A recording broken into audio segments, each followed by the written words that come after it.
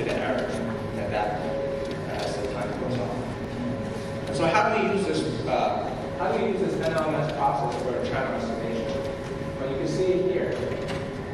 Again, we have the two transient signals go through these four channels, adding the noise, and then we get the two received signals. So what we do is that we take the two transient signals, U1 and U2, we put them here as the two inputs to the filter with.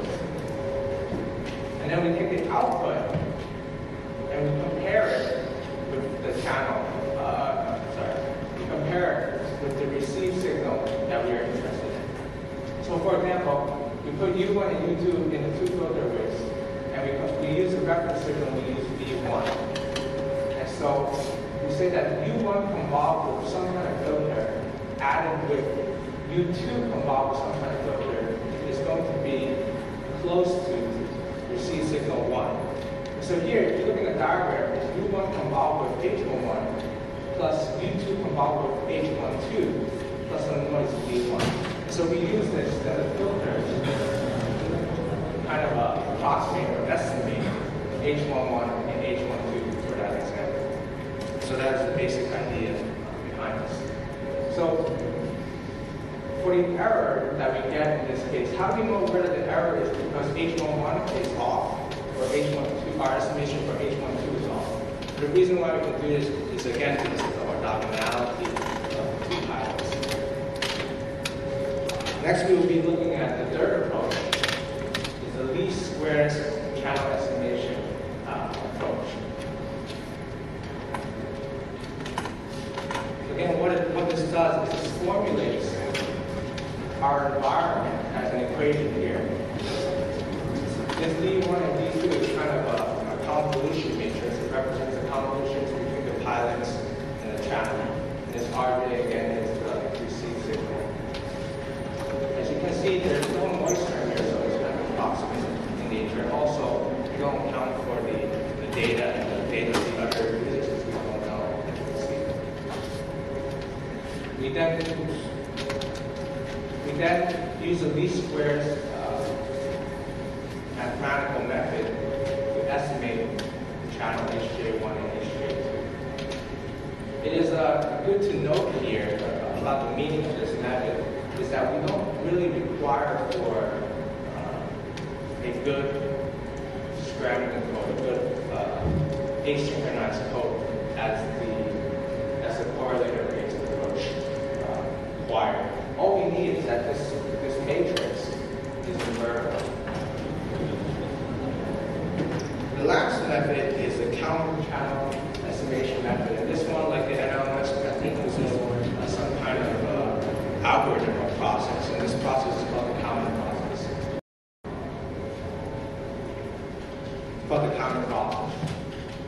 And so what we have is we have two equations, two main equations. We have an observation equation, uh, state equation and an observation equation. And by plugging in the parameters correctly, we can estimate the channel. So how do we compare the methods?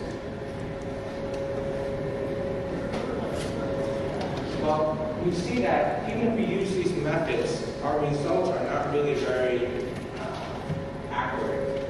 As you can see here, let's look at this correlator approach. True channel is given by blue curve. You can see our estimate channel is this black dotted here. You see it has a lot of oscillations. It may have some kind of delay. And amplitude may be a little off. And so we see from these curves that we need to tune. We need to tune our estimates. We need to modify our estimates slightly before we can compare them, before we can see which one is best. So how can we do this? Well, we use two metrics. One is EVM and one is BER. EVM stands for error vector magnitude, and BER stands for error rate. The EVM, basically, we look at the two curves, our true channel and our estimate channel. We kind of look at the difference between them over the whole curve. The second metric is a bit error rate. We take our estimate and we use it, this channel estimate, we use it for data detection. And then we get a resulting bit error rate. Now, EVM is relatively efficient compared with the bit error rate. The error rate you need to use is called data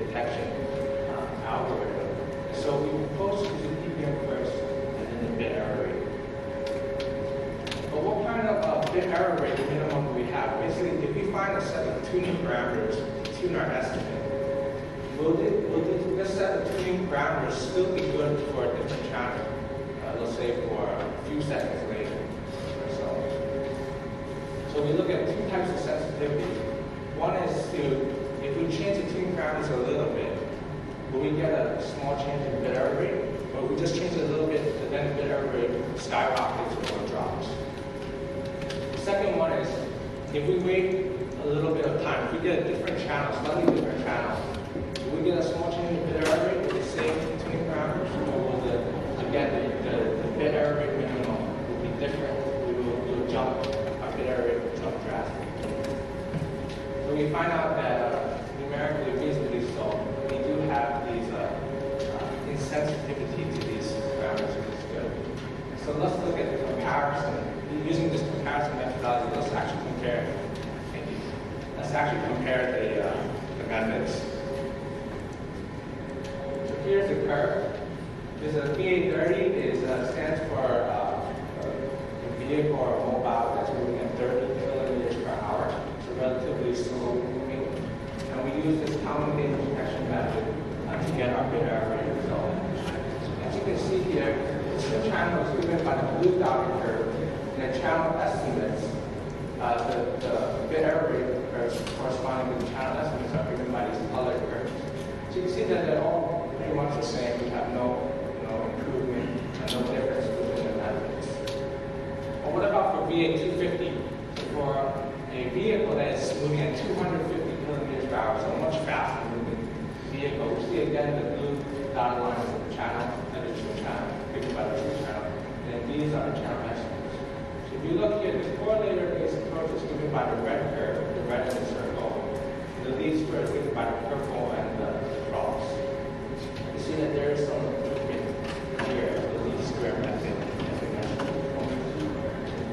So in conclusion, we wanted to compare some new developed uh, estimation methods with this existing popular correlator-based approach. We, we uh, realized that we needed to tune the estimates before we could compare them, tune the estimates resulting from. So we have a certain proposal, a certain comparison methodology. We use the first, which is relatively efficient the bit error find the two parameters, then apply the two parameters to our channel estimates. We then use these channel estimates, these um, tuned channel estimates, to find the bit error. And find that there's no real difference between the methods for the slower varying channel. But faster varying channel, the faster mobile uh, we find that the least method does show some improvement over the correlated uh, based approach. Are there any questions?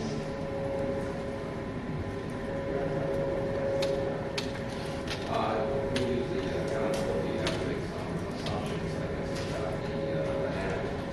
Uh, you said, Yeah, so uh, that's, that's true.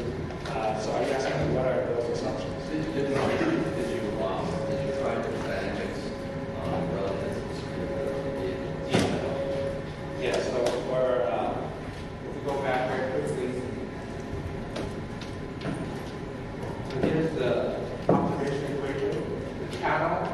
At a certain time step is equal to at a previous time step times some kind of coefficient of matrix plus some kind of noise. And so this coefficient, if the channel is very slow varying, then this uh, coefficient will be uh, close to uniform. But if it's fast it's